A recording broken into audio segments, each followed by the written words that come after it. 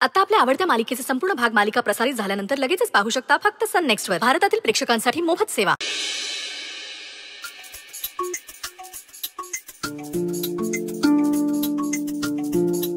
बाबा हा. आपल्या बिझनेसचा मुंबईमध्ये सुद्धा चांगला जम बसतोय हा. होय ना? बऱ्याच ऑर्डर्स येत आहेत. हो पण आता जितक्या ऑर्डर्स आल्या आहेत तेवढ्या पटपट उरकायला हव्यात. पुढे लग्नाची तयारी पण करायची आहे. हो. ए आ- आभा. ठेव ठेव तो मोबाईल. देऊ फटका. बाजूला ठेव. सारखं आपल्या मोबाईल मध्ये डोकं खुपसून. या पुढे इकडे सगळं काम करतात. आणि तू तिकडे काय मोबाईल मध्ये हा? ते पिढीचा ना प्रॉब्लेमच आहे खरंच. बाबा सगळ्यात महत्वाचं काम ना मी करते इकडे. हं? काय महत्वाचं काम करते? बाबा यांनी कसे लाडू बनवले ना हं. तर ते प्रमोट करायचं काम मी करते. ऑनलाईन प्रमोशन यांना एवढे ऑर्डर्स मिळत आहेत कुठून? मी रोज सोशल मीडियावर एक पोस्ट करते म्हणून होत आहे हे. बघा. आली मोठी. अरे आलात का? वा वा वा काय आकाशराव? राणा बघितलं? अहो हे सोबत गेले होते ना मग काम फत्ते करूनच आले असतील. काय हो? कुठे यांचं नवीन घर? तुला काय तुझा नवरा सुपरमॅन वाटतो का ग? फत्ते कसलं फत्ते? अहो काका घर भेटता भेटता राहिलं माहितीये का? म्हणजे? अहो म्हणजे हे आपले सत्यवचनी राजा हरिश्चंद्राची अवलाद. अगं मग काय? नको तिथं प्रामाणिकपणा दाखवायचा. अरे हो पण काय काय झालं काय पण? अहो तुमची झेरॉक्स कॉपी राणा दादा मी तत्वावर चालणारा माणूस आहे. मी अजिबात कोणाशी खोटं बोलणार नाही कोणाला फसवणार नाही. अरे हो मग यात काय वाईट काय? चांगलंच आहे की. काय चांगलंय काका? आम्हाला एक घर आवडलं होतं. तो मालकही तसा बरा होता. म्हणजे सगळं जुळून येत होत. घर बघितल्यावर त्या मालकाने विचारलं वरची खोली आवडली का खालची? तर नाना म्हणले माझी बायको प्रेग्नंट आहे ना त्यामुळे खालची खोली. मग त्याने विचारलं बाबा कधी येता आता राहायला? कधीपासून सुरुवात करताय? तर आपले नाना म्हणतात हे काय आता काही दिवसात आमचं लग्न होईल? मग लगेच येतो. बायको लग्नाच्या आधी प्रेग्नंट हे सांगायची काही गरज होती का? कुठला मालक दिला असं ऐकल्यावर घर? ए राणा दादा ठीक आहे. हे बघ नंतर सगळं त्याला कळणार. त्यापेक्षा आधीच आपण सांगितलेलं बरं नाही का? आणि घर काय रे? मिळेल कधी मिळेल? आपला प्रॉब्लेम काय की आपण इथे जवळपास घर शोधतोय म्हणून आपली धावपळ होते बाकी काही नाही. आकाश राणा घर जरी लांब मिळालं तरी चालेल. म्हणजे जवळ मिळालं तर उत्तमच आहे. पण लांब मिळालं तरी काही हरकत नाही आकाश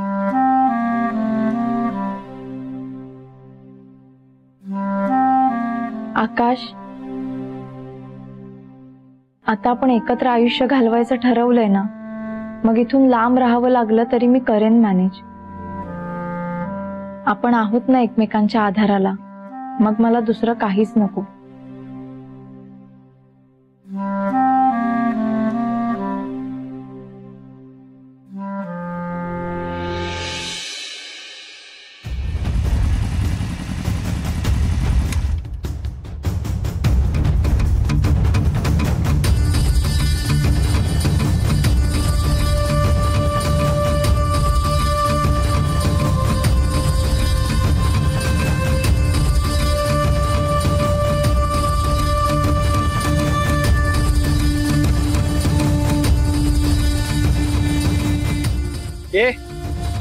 काय केलंस तुला कळतंय का? मी काय केलं? ए कोण आहेस तू? चल निघ इथून. एक मिनिट. मी तुझ्याशी बोलत नाही. आपण एकमेकांना ओळखत सुद्धा नसताना खोटा कशाला बोललीस? आपला एकमेकांशी काहीही संबंध नसताना माझ्या मैत्रिणीला खोटा का सांगितलंस? ए भाई तू डोक्यावर पडलास का? गर्लफ्रेंड आहे ती माझी. अच्छा म्हणजे तुझा बॉयफ्रेंड आहेस ना? हो.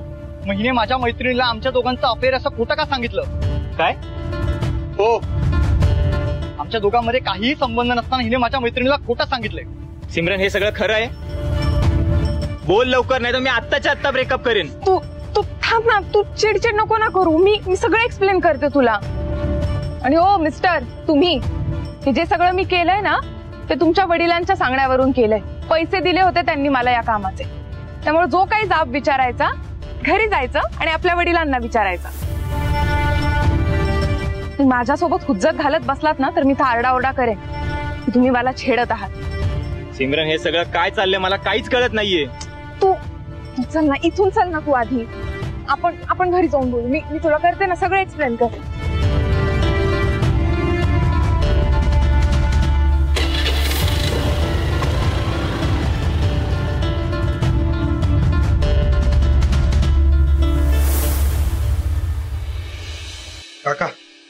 हा राणा ये बस.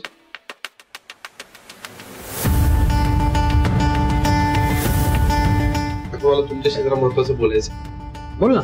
मला हे काम नाही करायचं मला नाही जमणार. मी सोडतोय काम. तुला पैशाची अलर्जी आहे काय रे? मी तुझ्यावरती भरोसा टाकून एवढा पैसा तुझ्यावरती इन्व्हेस्ट केला.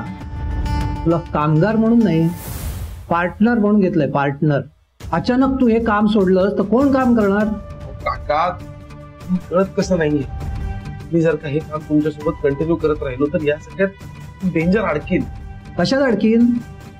समीर बोलला का तुला काही? अहो, नाही हो तो काहीच बोलला नाही मला. मला माहितीये आज नार्कोटिक्स वाले आलते माझ्या घरी. काय? हो त्यांनी माझी कसून चौकशी केली.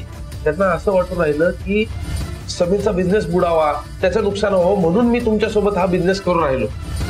आता काका ते आज माझ्या घरी आलते समजा ते उद्या इकडे आले तुमची चौकशी करायला तर काय करायचं आपण? म्हणजे झालं का? अडकलो का आपण दोघं पण त्यात?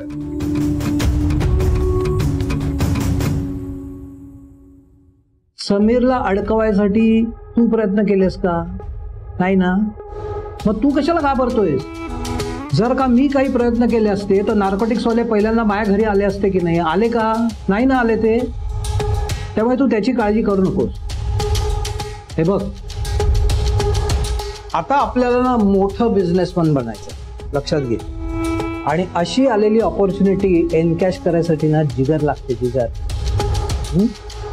तू जर असाच वागत राहिलास ना तर आजूबाजूचे लहान सहान दुकानवाले आहेत ना ते पण तुला घाबरणार नाही कळलं? त्यामुळे आता कोणालाही घाबरायचं नाही. हा. नार्कोटिक्स वाले आहेत ना त्यांची तू काळजी करू नकोस त्यांना मी मॅनेज करीन. कारण हे सगळे जे टेम्पोवाले आहेत ना मार्केटमधले त्यांना आपलाच भाजीपाला जातो.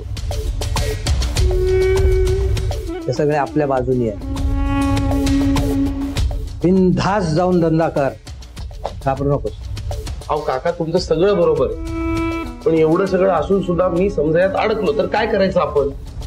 राणा मी तुला आता काय सांगितलं? हा? तुला मी तो आलतू फालतू समीर महाले वाटलो? अरे आपल्या मंत्रालयापर्यंत ओळखी आहेत. टेन्शन घेऊ नकोस. बिंदास जाऊन बिझनेस कर जा.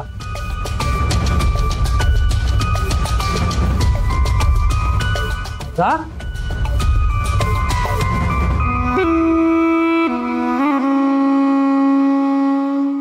येतो हॅलो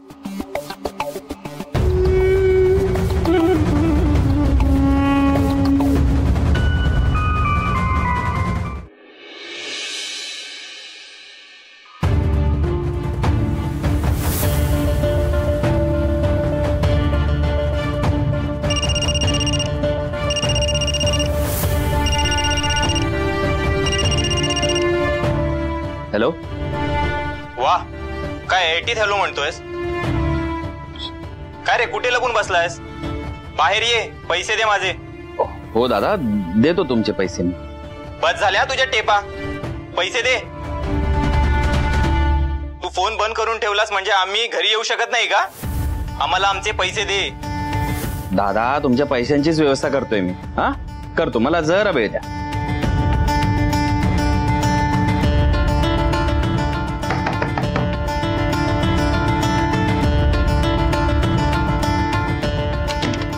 नाही काय गो देवा नारायणा काय उभं रे बाबा? सूर्य नुसता आग उगतोय बाबा.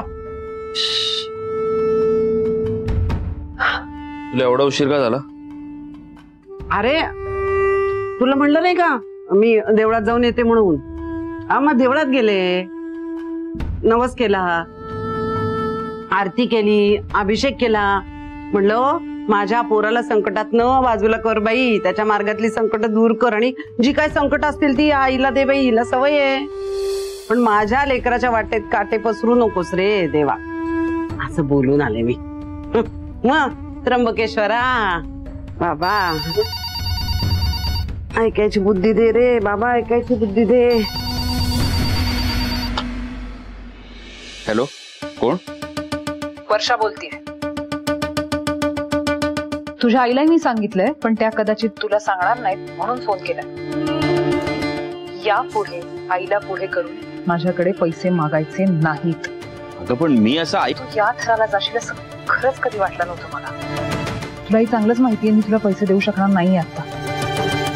यानंतर हे सगळं प्रकरण संपेल तेव्हाच आपण बोलू.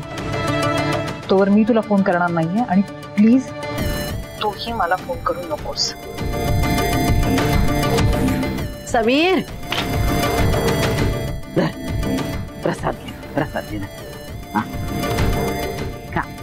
देवाला साकडं घालून आले बाई.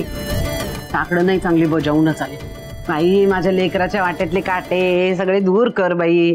सोन्याचे दिवस दाखव त्याला. असं सांगूनच आले म्हणजे मग काय? बजावून आले म्हणलं नाही का? हो. बाई.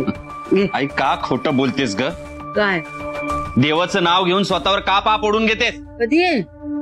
तू वर्षाकडे गेली होतीस ना पैसे मागायला? मी तुला सांगितलं होतं का? अरे ऐक. समीर मी मी- मी नाही गेले बाई तिकडं. मी कशाला जाऊ तुझ्याकडे पैसे मागायला बाई? मी आपल्या देवाला गेले होते. मी का खोटं बोल आई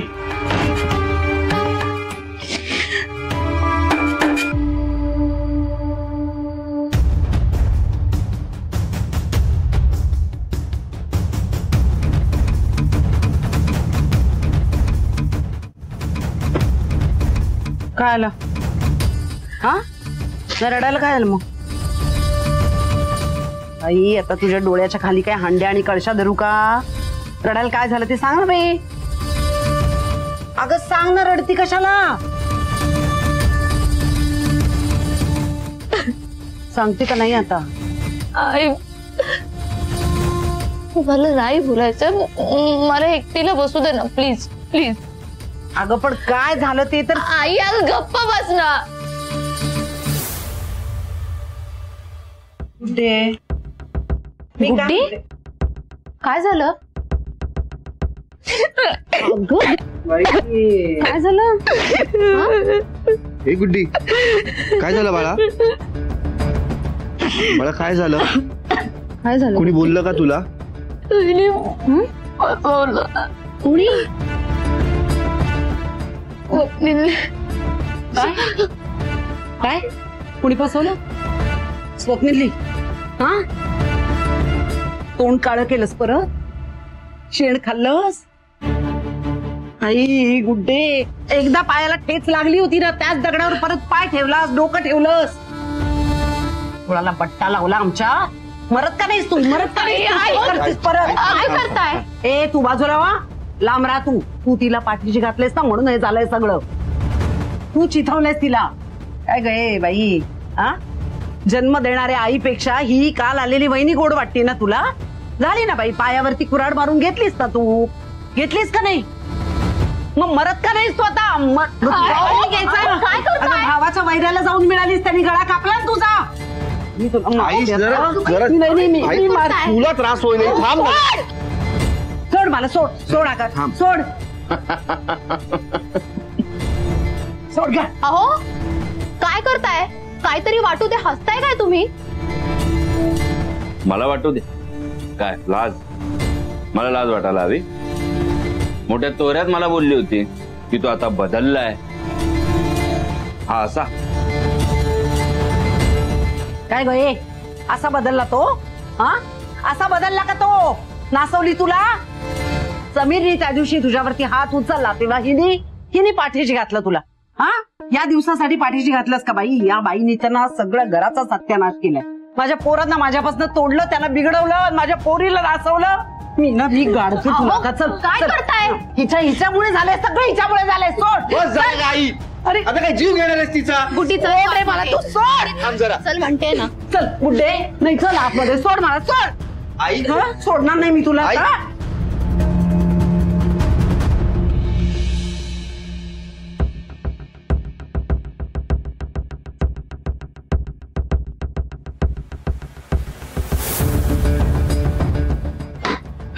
आलात हा नाही तुझ्या समोर माझं भूत उभं आहे एक मिनिट निघताना मला सांगितलं नाहीत की वृंदा निघतो म्हणून मी फोन करते तर ते फोनही उचलत नाही तुम्ही हजारदा सांगितलंय. घरातनं बाहेर पडताना मला सांगत जा चार माणसामाराच्या गोष्टी सांगायच्या असतात अगं तुम्हाला. ए किरकिर बंद कर तुझी प्लीज ओ माझ्यावर चिडायला काय झालं? न सांगता तुम्ही बाहेर गेला होतात. अगं हो मग कुठे गेलतो कशासाठी गेलतो ते विचार ना आधी. अच्छा म्हणजे आता मी विचारायचं आणि मग तुम्ही सांगणार मला. अगं वृंदा वृंदा यार खूप मोठा मॅटर झालाय. काय झालंय आता? मग अशी तुम्हाला कोणाला काही बोललो नाही? ते आकाश बोलता ना ते शिंदोडे का शिंदोडे काय ते घेऊन हा. तेव्हा इथं बाहेर दारात नार्कोटिक्स डिपार्टमेंट वाले येऊन चौकशी करून गेलेत माझी इथं समीरच्या प्रकरणाबद्दल. काय? हो. त्यांना असं वाटून राहिलं की हे सगळं मी केलंय समीरच्या विरोधात. मी हे मी हे कारस्थान रचलंय. त्या सत्यशीलच्या सांगण्यावरनं मी त्या समीरच्या टेम्पोत अंमली पदार्थ ठेवले असं वाटून राहिलं त्यांना. अहो पण तुम्ही तर सत्यशन सोबत फक्त तो बिझनेस करत होतात ना? अगं हो ग बाई हे तुला माहितीये मला माहितीये पण त्यांना पटेल तर शपथ ना. त्यांना हेच सांगितलं मी पण त्यांना पटायलाच तयार नाही कधी चौकशी करावी लागली तर हजर व्हावं लागेल गपचूप अशी धमकी देऊन गेलेत ते मला. तेव्हा? आ- आता? आता काय?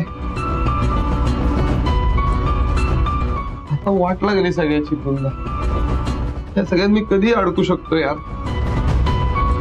ते समजा त्यांनी असं सिद्ध केलं ना की हे सगळं मी केलंय तर सगळं संपेल वृंदा सगळं संपेल फिसकटून जाईल सगळं. म्हणजे एकीकडं आकाश बोला असं वाटेल की मी त्याला फसवलंय. कारण त्याची इच्छा नसताना मी त्याच्या भावाचा समीरचा बिझनेस सत्यशील सोबत करू राहिलो ना. आणि दुसरीकडे त्याचा तो भाऊ समीर आपल्यावर टपूनच बसलाय त्याची तर खात्रीच पटेल की हे सगळं मी त्याला फसवायला अडकवायलाच केलंय. हे सगळं हे सगळं जेव्हा काकांना समजेल तेव्हा आपल्या घरात किती मोठा प्रॉब्लेम होईल याचा अंदाज तरी येतोय का तुला? कळतंय का थोडं तरी? त्यांचा विश्वासघात केल्यासारखंच होईल नाही अरे यार, नाही, अरे यार संपलो यार मी. वाट लागली सगळ्याची. मला जाम भीती वाटू राहिली. या सगळ्यात कधी पण अडकू शकतो. हा सगळा ना त्या आशालताने लिंबू फिरवल्याचा परिणाम. आहे त्याचाच परिणाम म्हणून नियतीने तुमच्या विरुद्ध सापळा रचलाय हा. मी तुम्हाला म्हंटल नव्हतं मागे? तुमच्यासाठी अचानक एवढ्या संधी चालून येत आहेत म्हणजे तुम्ही ह्याच्यामध्ये अडकणार. म्हंटल नव्हतं? अगं धन्य तू धन्य. अगं बाई त्या लिंबू फिरवण्याच्या प्रकरणामधनं आता तरी बाहेर पड. बास झालं ते तुझं लिंबू फिरवण्याचं प्रकरण. कुठल्याही गोष्टीचा संबंध त्या प्रकरणाशी जोडत बसू नको सुगच. असं कसं म्हणता हो? इतकं सगळं घडल्यानंतर पण असं कसं तुम्ही म्हणता की याचा संबंध नाहीये? त्याचाच संबंध आहे. मी तुम्हाला म्हंटल होतं. तुमच्या बाबतीत अचानक इतक्या सगळ्या चांगल्या गोष्टी घडतायत? तुम्ही ह्याच्यामध्ये अडकला. आणि अडकलात बघितलं ना? अडकलं अगं कुठे अडकलोय अजून? काय पण काय बोलू राहिली. हो आत्ताच म्हणालात ना की वृंदा मी असं मध्ये अडकलोय म्हणून. अगं मी काय काय झालं काय झालं वृंदा? कोण अडकलंय? काय कशाविषयी बोलताय तुम्ही?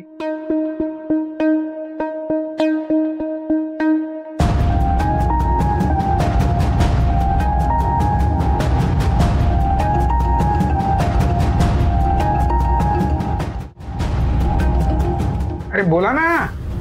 गप्प का असं? काय काय? कोण अडकलंय काय विचारतो मी? काय झालंय? ते काय झालंय? काय काका तुम्ही पण. केवढं लगेच टेन्शन घेता राव छोट्या छोट्या गोष्टींचा एवढं काही नाही हो. अडकलं म्हणजे ते आमच्या एका दुसऱ्या बिझनेसचा माल अडकलाय. दुसरा दुसरा बिझनेस तुझा कुठला दुसरा बिझनेस ते नाही का मी तुम्हाला म्हणलेलं? अ, इथे बाहेर आपला विषय झालता. मी सध्या माझ्या एका मित्राला त्याच्या बिझनेस मध्ये मदत करू राहिलो. हा. हा त्याचा माल अडकलाय. ते काय आहे त्याचा जो टेम्पो होता ना त्याला माल घेऊन जात असताना ट्रॅफिक वाल्याने नेमका अडकवले हा हा आणि अ, त्या टेम्पोचा जो ड्रायव्हर आहे ना ते लय ग्रेट आहे. तो पावतीच विसरून गेलाय माहिती का? तर मी हिला सांगू राहिलो की मला तिकडे स्वतः जाऊ दे बघू दे काय प्रॉब्लेम आहे. पावती घेऊन जातो मी तिथे. तर ही बोलू राहिली तुम्हाला जायची काय गरज आहे? फोटो पाठवा. हा. अं, आता त्या ट्रॅफिक वाल्यांनी नाही ऐकलं. ते म्हणले नाही चालणार फोटो. खरी खरी पावती लागेल. तर काय करायचं? तर हिला सांगू राहिलो. तर भांडू राहिली माहिती त्याच्यावरनं. काय कशाला अशी वागतेस गे तू? हा? तो माणसाच्या मागे सतराशे साठ व्याप असतात ना त्यावेळेला जरा त्याला समजून घ्यायचंच. कळतं ना त्याला त्याचं काम. कशाला लुडबुड करतेस तू? ए नाना जा. जा जा, तू पटापट ते काय ते पावतीचं काम करून ये. जाऊ का? एक काम करतो मी मी एकदा ते त्यांचं लोकेशन काय ते बघतो. म्हणजे क- घ्या. आहे का? अबा, त्यांचाच मेसेज आलाय की थोडीशी रिक्वेस्ट केल्यावर ट्रॅफिक वाल्यांनी सोडलंय. त्यामुळे जायची काही गरज नाही. झालं? मी मी हेच सांगते बाबा यांना की फोटो पाठवा ना मोबाईलवर. थोडीशी रिक्वेस्ट करा त्यांना. पण नाही हे आपले हमरी तुमरीवरच यायला तयार. अगं पण रिक्वेस्ट केल्यानंतर ते ऐकतील अशी काही भविष्यवाणी झाली होती का मला? मी अरे भांडू नका भांडू नका. जरा शांत राहा शांत राहा. बघ सध्या तू खूप जबाबदारीने आणि सातत्याने काम करतोस. ते मला खूप आवडले. खूप आवड ए, माझी पण ना सध्या एक एक चिंता हळूहळू मिटायला लागते आता लग्न झाल्यानंतर आकाशराव सुद्धा मुक्ताला आपल्या खूप छान सांभाळते पुढे जाऊन तू आणि आकाशराव मिळून एखादा नवीन बिझनेस पण सुरू करा काय ब- तुम्ही काहीतरी चांगलं काम करून दाखवाल नाही याचा विश्वास वाटायला लागलाय मला खरं? वा वा छान छान. आता ना मग माझ्या ओवीचीच काळजी वाटते. तर तिच्या संसाराचा गाडा रुळावर येणार आहे की असाच भरकटत राहणार आहे? काही कळत नाही.